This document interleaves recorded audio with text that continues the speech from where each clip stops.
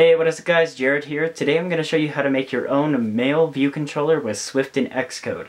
Now if you guys are wondering where my Don't Tap the White Tiles and Swift with Swift and Xcode is, it'll be out very shortly, but right now I'm having some technical difficulties, so that's why it's not out. But right now, I'm just going to show you how to do this, and let's get started.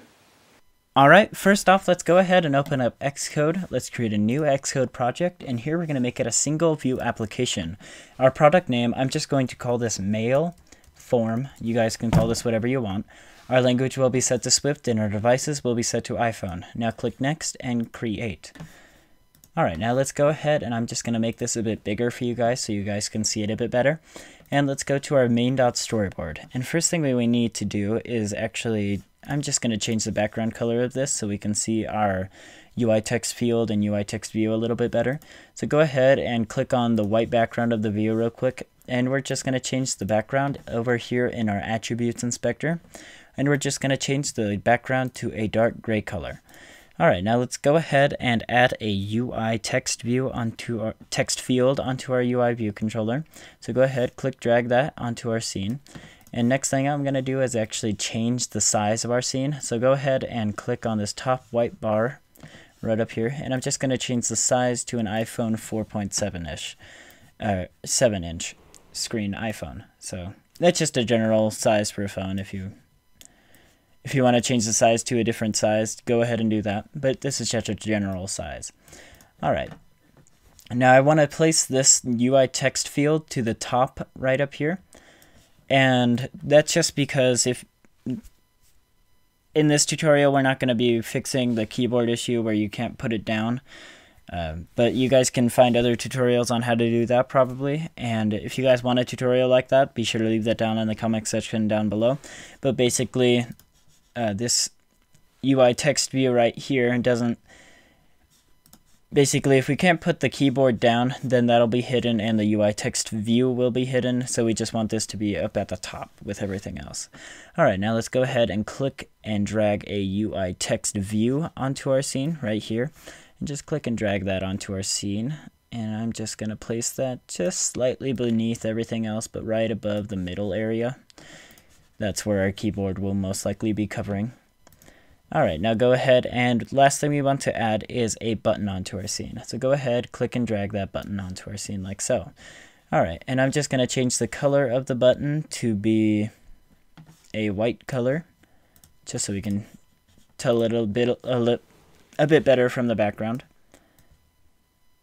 And we're just going to call this send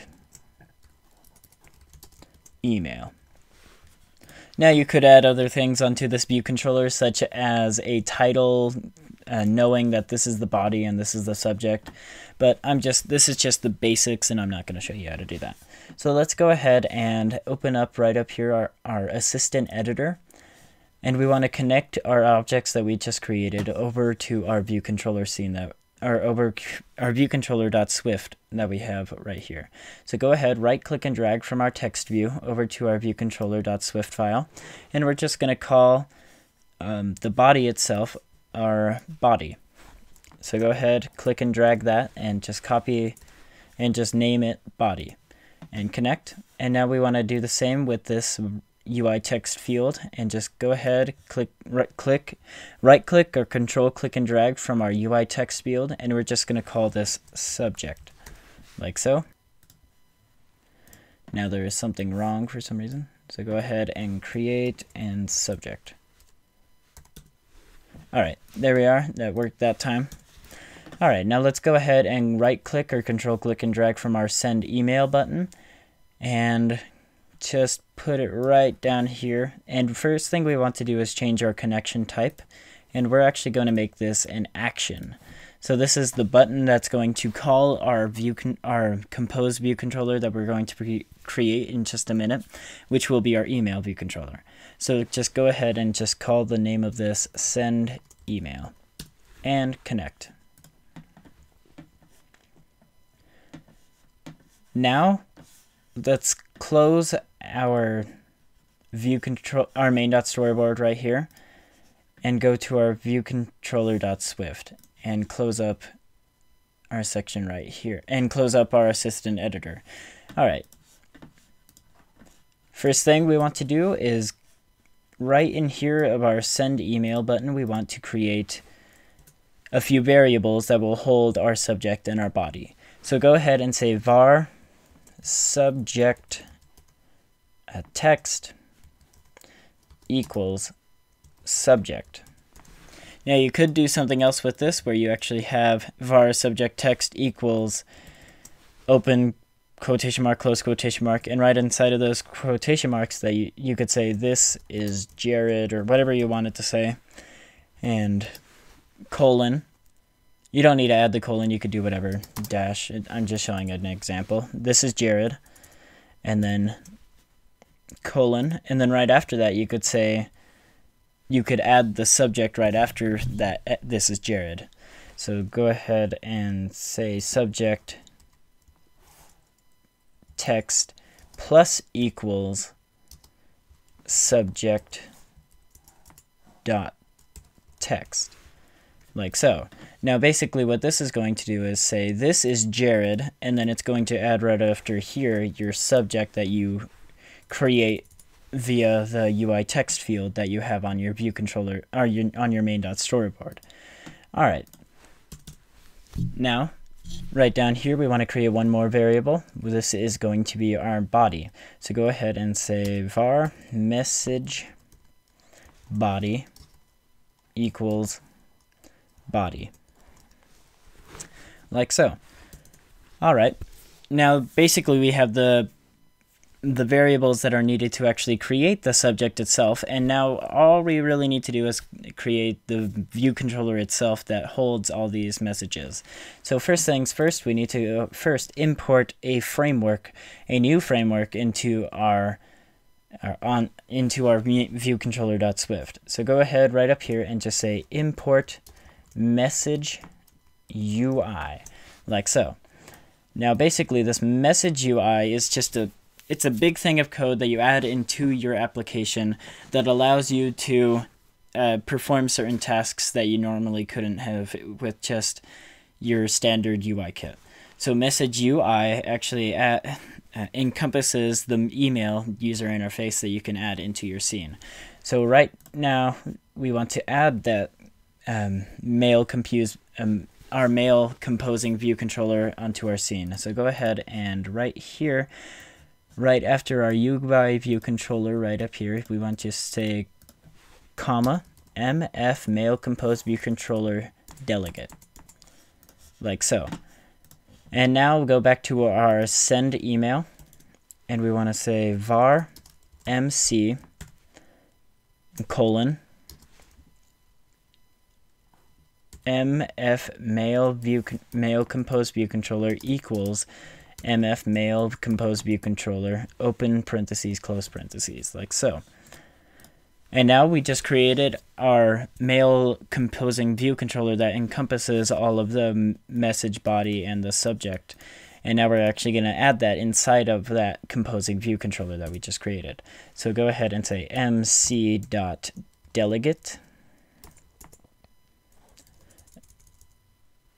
I'm sorry, mc.delegate m mail composed delegate, that's what I was looking for, equals self. All right, now after that, just go ahead and say mc dot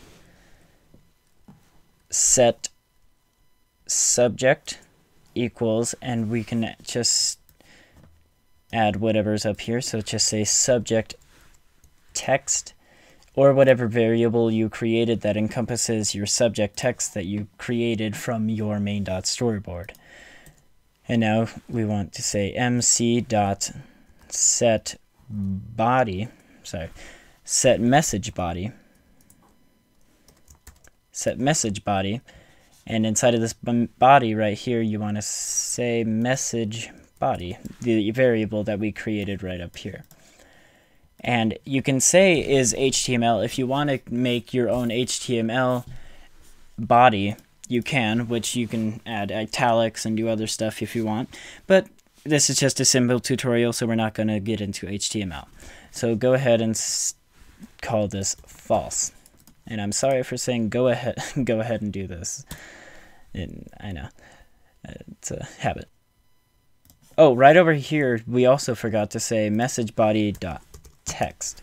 That's what it should be. It should not just be some standalone message body. All right, now right down here, you just go mc dot set to recipients, like so.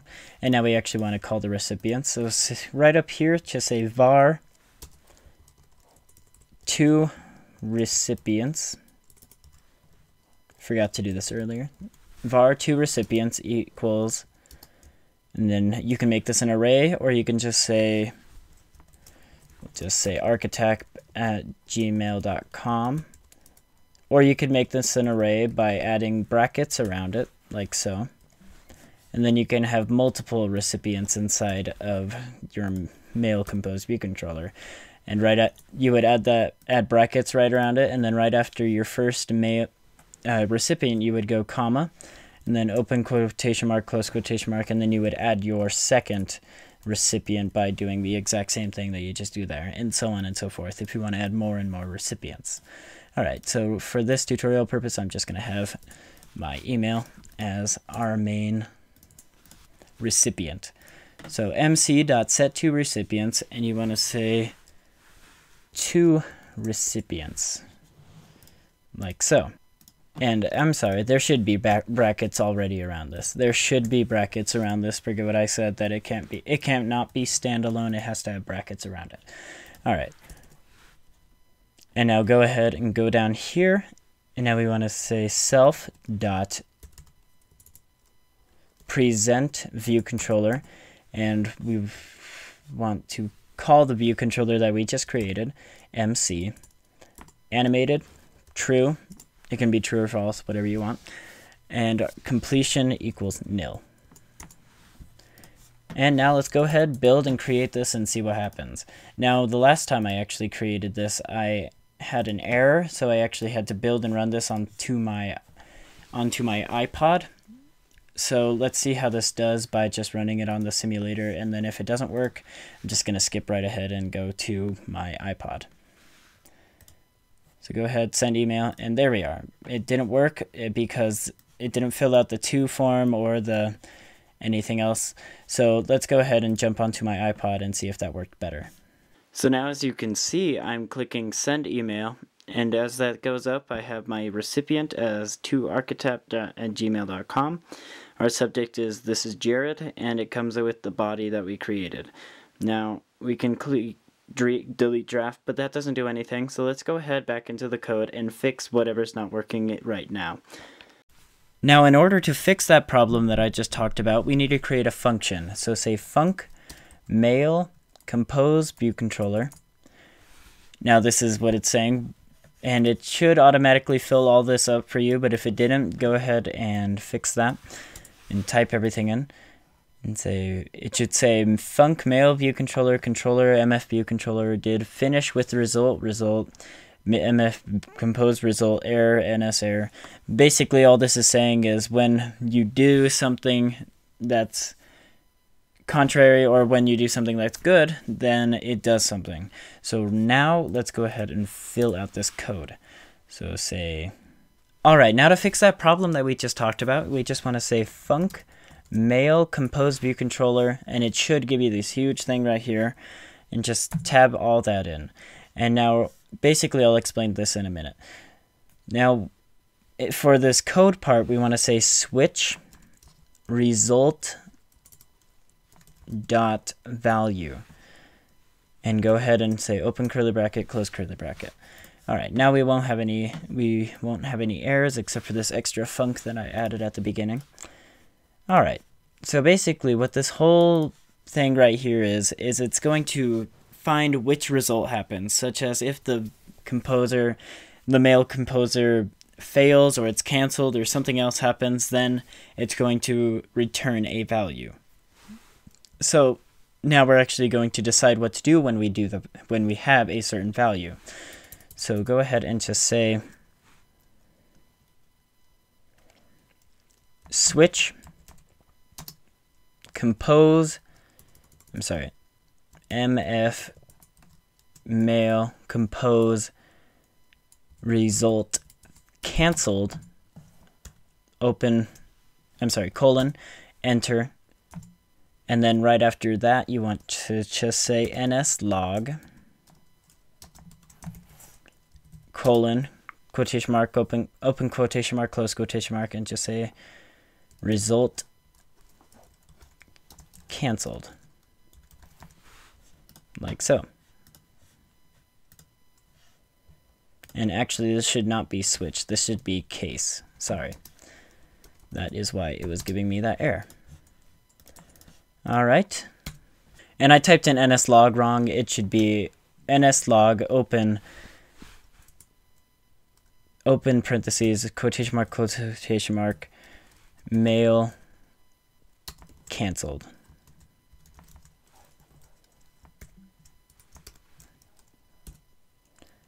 And now continue. Oh, and also I forgot one more thing. It should be mf mail compose view controller result cancel dot value. That's what it should be. All right, now we can just go ahead, and we don't need these ns logs actually, so I'm just going to go ahead and skip all that.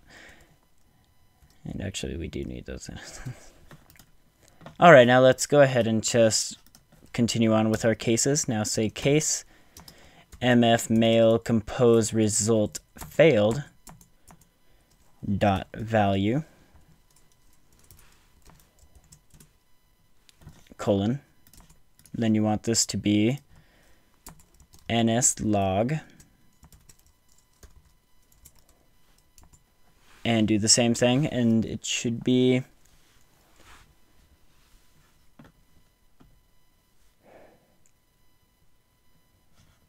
And we don't want this to be failed. We actually want this to be sent. Or saved. We'll put it as saved. And just say mail saved. Like so. And just delete the rest of this part right here. And continue on and just say case mf mail compose result sent dot value open colon I mean colon.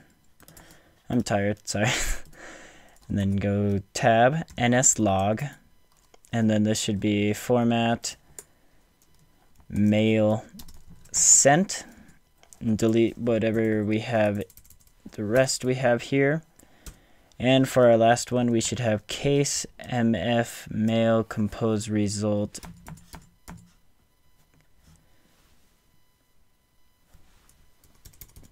Compose result failed dot value colon and then just say ns log mail open quotation mark close quotation mark and now just say mail sent failure colon and then just say percent at and this should be what comes right inside of here. It should be error, or sorry, open bracket, error, dot localized description. And lastly, we should just have break. Sorry, not break, we should have default, colon, and then break. And last thing we want to add is is right after this mark right here and just say self dot dismiss view controller true completion nil. And now let's go ahead and build and this run this on my iPod and see what happens. Now as you can see when I click send email it automatically loads it all up and then you can click cancel delete draft and then it dismisses the view controller. Or you can get send email and send it, and it sends the email and dismisses the view controller. There you are. That is how you do it. Anyway guys, that's it for the anyway guys, that's it for this tutorial. If you guys enjoyed it, be sure to hit that like button down below. And if you guys really enjoyed seeing my setup made out of cardboard and other stuff, be sure to hit that like button down below too. If you guys want to know more about me, be sure to check me out on Twitter and also check me out on my website down in the description down below. If you guys want to see more tutorials by me, be sure to subscribe. Anyway guys, that's it for this tutorial, I'll see you in the next one. Tutorial.